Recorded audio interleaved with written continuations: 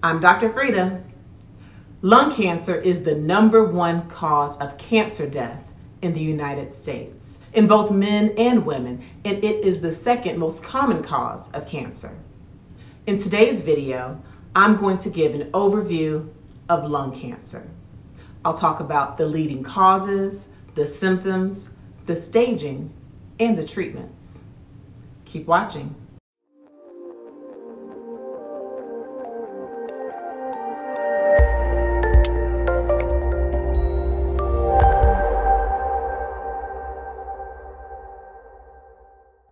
If you have not done so already, please subscribe to my channel and hit that notification button so you'll know when I'm doing YouTube Lives.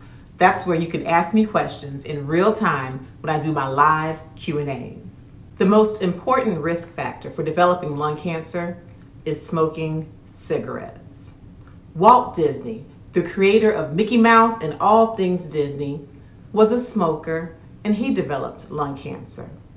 However, you can be a non-smoker and still get lung cancer. Diana Reeve was an actor, a singer, and the wife of Superman, Christopher Reeve. She developed lung cancer and she had never smoked a cigarette in her life. So what exactly is lung cancer? Lung cancer occurs when lung cells change or mutate and they begin growing and dividing uncontrollably. As these mutated cancer cells stack up on one another, they form a mass or a tumor. If cancer cells from this tumor break off and get into the bloodstream, you can develop metastatic lung cancer. There are two main types of lung cancer, small cell lung cancer and non-small cell lung cancer. Non-small cell lung cancer makes up about 85% of the lung cancers, and there are four types of non-small cell lung cancer. Squamous cell carcinoma, adenocarcinoma, carcinoid tumor, and large cell lung cancer. What are the leading causes of lung cancer? Well, smoking tobacco is the leading cause of developing lung cancer. In fact, 90% of people with lung cancer are smokers or former smokers. Secondhand smoke also puts you at risk for developing lung cancer. So if you are living with a smoker, you have an increased risk. And for you parents who smoke cigarettes in front of your children, yes, you are increasing your child's risk of developing lung cancer. Other causes include environmental exposures. If you have been exposed to things like asbestos, radon, certain metals like arsenic and chromium, this can increase your chances of developing lung cancer. Also, if you've had a type of cancer in the past and you've received radiation therapy, that radiation exposure can also increase your risk for developing lung cancer. The symptoms of lung cancer. The symptoms of lung cancer can be vast. They can be caused from direct pressure of the cancer on organs or organ systems. They can be caused by the lung cancer actually invading blood vessels or compressing nerves. The symptoms can also be caused by paraneoplastic syndromes or you can get symptoms from organs even when the cancer itself has not directly spread to those organs. One common symptom is a cough. Cough is a very common symptom of lung cancer. In fact, it occurs in over 75% of patients with lung cancer. Hemoptysis is another symptom. Hemoptysis is the coughing up of blood, and it often occurs when the lung cancer has invaded blood vessels. Another symptom of lung cancer is shortness of breath.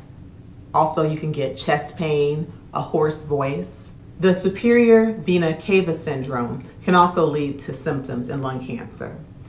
The superior vena cava syndrome, or SVC syndrome, occurs when the lung cancer causes an obstruction or blockage to the flow of the superior vena cava, or that very large vessel returning blood to the heart. Symptoms include facial swelling, neck swelling, shortness of breath. And there are a number of symptoms that can be caused by these paraneoplastic syndromes. Symptoms can include high blood pressure, weight gain, developing a round or a moon phase. You can get weakness, bone pain, kidney stones, depending on the paraneoplastic syndrome you may develop. So what is the treatment for lung cancer. The treatment really depends on the staging of the lung cancer and the type of lung cancer.